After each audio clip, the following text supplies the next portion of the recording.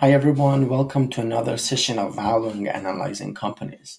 In today's session, I will be evaluating the firm and equity value of Tyson Food, its intrinsic value to be specific. From my point of view, this is not a buy or sell recommendation. You need to do your own due diligence. This is solely my point of view about this business. Tyson Food is one of the major food producers in the United States. They also have footprints internationally in China, Malaysia, and expanding further in other countries. It was founded around 1935 by John W. Tyson. His grandson, John H. Tyson, is the current chairman, used to be the CEO between 2000 to 2006. And currently, Donnie King is the CEO of this company. It is essentially a family owned business. They are the major holders, 2.3% are all the insider holdings. Majority of it is coming from Donnie King and uh, Tyson family. If you see that John H. Tyson has about 3.8 million shares and Donnie King has about 321,000. Um, so significant holdings by insiders. I tend to think they're going to be disciplined with their own money. They have a huge, significant, huge skin in the game to keep their eyes on the store, uh, which is going to keep agency costs away from the business. It's going to have well structured corporate governance.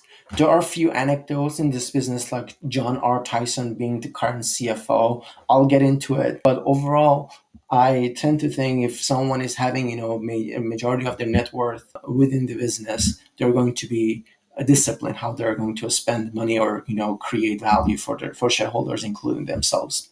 With that said, let's look at the business itself, some of their some of their financials historically, and uh, come to some conclusion or estimates uh, where the business should be trading for the unlevered beta of the food industry business is something around 0.5.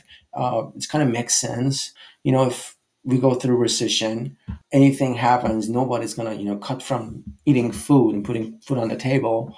Uh, especially, you know, even you may even cut restaurants, but you may not, you know, cut groceries. So it makes sense that you know, food producers having low beta business the equity value based on the books, excluding goodwill, is about 9.9.2 billion. And you see this trend that overall, over the past uh, years, they've been creating value for shareholders. The quick ratio and long term ratio, adjusting for goodwill again, is a 1.75 and 1.54 respectively, which is again the company is solvent. The debt to equity ratio is about 38% if we get an expansion market cap, this number is going to go down. That's what I would expect. And so th- this business is not hugely levered from my point of view. Looking backward on how much interest they paid on this debt is about 4% based on the last financial records we have.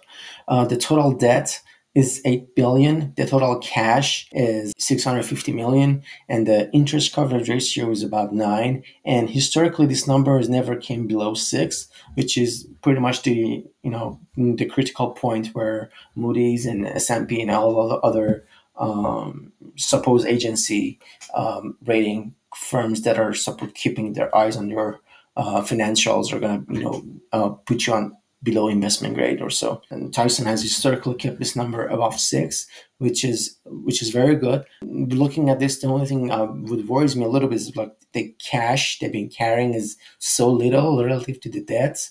Uh, you know, over here when they had less debt, they were carrying pretty much around the same amount of cash, but now they have a lot more debt, but they're not carrying relatively more cash.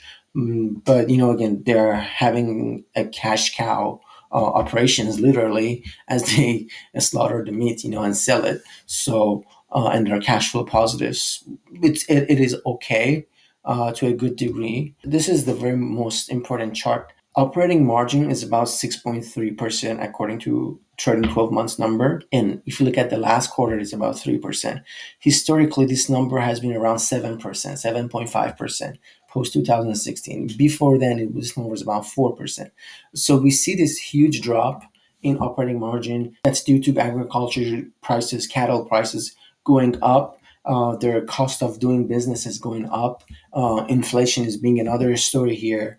Uh, consumer spending you know weakening. So there are all these parameters uh, that is you know pushing this number to 3.5 as we see it. But if you tend to think that things will revert to it to their long term average, uh, we call this phenomenon mean reversion. I personally tend to think this phenomenon is going to kick in uh, in the next couple of years, and we're going to see expansion in margin relative to it, to the points that we are observing right. Whether you want to look at it from trailing 12 months, which is about 6%, 6.3, or the last quarter, which is 3.5, I tend to think this number is going to get back to about 6.6% or 6.5 to 7%.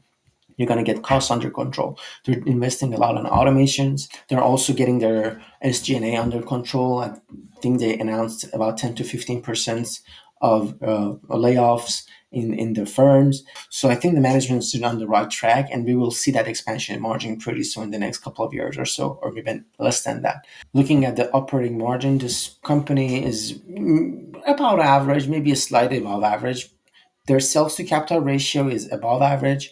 It means they're seems like they're generating more revenue relative to the assets they have in place. The return on invested capital has been about eight nine percent uh, which is pretty good relative to, to, their you know estimated cost of capital, which should be about you know, five six percent. Return on an equity was about 13 14 percent, which is pretty good. So this company has a good history of return on investment uh, for the firm, return on uh, equity for the shareholders, uh, high sales to capital ratio, uh, high insider ownership. You know, it's it's it, it is well run. There are stories out there about John R. Tyson, the current CFO. Uh, I think he was found drunk in some random individual's house in in in her, in, in, in her bed in like middle of the night. This guy is the son of the John H. Tyson, you know, the previous CEOs, which is the chairman. My understanding is he's an expensive intern that is being forced upon shareholders. Um, a guy who was born in 1991, um, less than 32 uh, years old, being the chief financial officer of a publicly trading firm which has 50 more than 50 billion in revenue with four or five years professional experience.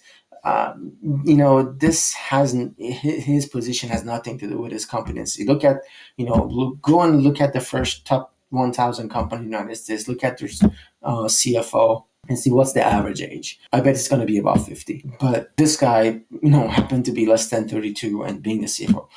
Uh, it's he he doesn't have the competency and necessary experience of capital allocation, but just being part of the family is placed in there and is being forced upon shareholder. However, at the same time, uh, given his dad John H. Tyson having significant ownership in the business and Donnie King, I think they're keeping him in check and I'm not concerned about, you know, this guy being the CFO and then another day being found in Bahamas or I don't know, God knows where, going missing or the cash of, of, of the business going missing, stuff like that. Um, John H. Tyson didn't have significant ownership. Yeah, I would have been worried about this. This is an extremely red flag. But this is not the case that I will be concerned about as a shareholder. The bottom line is John Tyson is in the driving seat and is leading the company moving forward. He he's essentially you know keeping his eyes on the firm. So with that said, I have uh, performed a DCF valuation, which uh, I'm not going to bore you going through line by line with the models.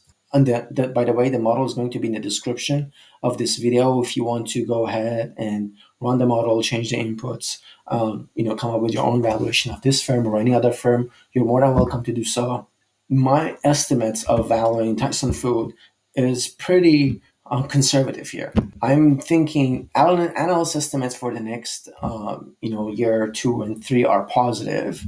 I am going to start with a negative two percent, and you know from trailing twelve months revenue over the next three years, I'm gradually changing, increasing that from negative two to three, and then increasing it to 4.5, and then decreasing it to 1.5 over the next three years after that, and then 2%. And then I'm going to value the company as a going concern um, with 3.6% uh, as my terminal growth rate, uh, which is about which is in line with uh, 10 year T-bond rate. Now, why am I giving them growth?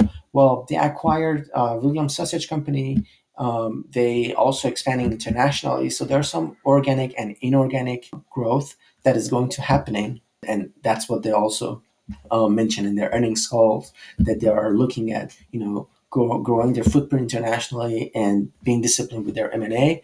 Uh, so that makes sense. You know, I'm you know over the next ten years, I'm you know taking their revenue from 52 to 66, and I think these are very conservative numbers and they also have to reinvest for the business. Growth is not free gimmick. For every dollar they are going to bring as revenue, they have to put 1.7 dollar back into the business, and I'm gradually lowering that in, that number to 1.3 to the to their long term average. I am estimating the current operating margin. I call it current because it's going to be next year. These are all next year numbers. So think of it as um, May 2024 numbers or June 2024 numbers the current operating margin is going to be about 4%. And I'm gradually over the next 10 years bringing it back to 6%. And we saw it was around 7%, 6.5. So I'm bringing it back to six. And I am, mm, you know, giving them a slight edge. The return on invested capital is going to be 40 basis point above their cost of capital. That's all I am um, assuming in based on, you know, what we've seen in the history and that, you know, high insider ownership. I'm giving that credit which is not significant. I do this, get my cumulative cost of capital, get my cash flow, discount them back. The value of operating asset comes to about 33 billion.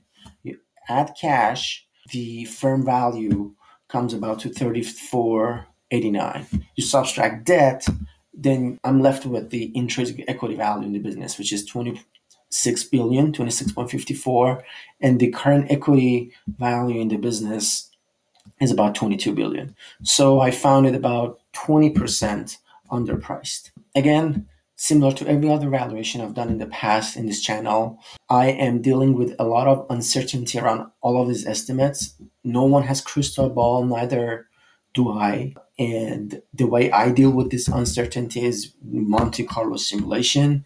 I come up with a different reasonable range for every estimate that went to the model, such as you know the operating margin i don't know if it's going to be 3.5 3.6 3.7 4 4.2 next year i don't know and i don't i bet even Donnie King, John Tyson, no one knows over there. I randomly draw a number between 3.5 and 5 and gradually, you know, converge it to a number between 3, uh, 5.3 or 7.7. That's the term. I draw 15,000 samples from different distribution and run a DCF, discount them back, do the firm valuation, equity valuation, and so on to come up with this histogram.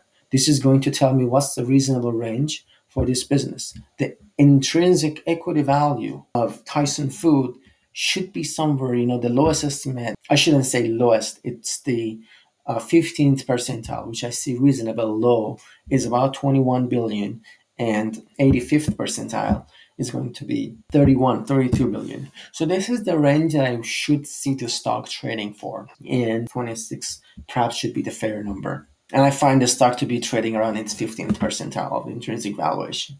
If you look at this correlation chart, the number that has the highest correlation with the intrinsic equity value is the terminal operating margin. So that number that I picked between 5.3 to 7 point something, what was it?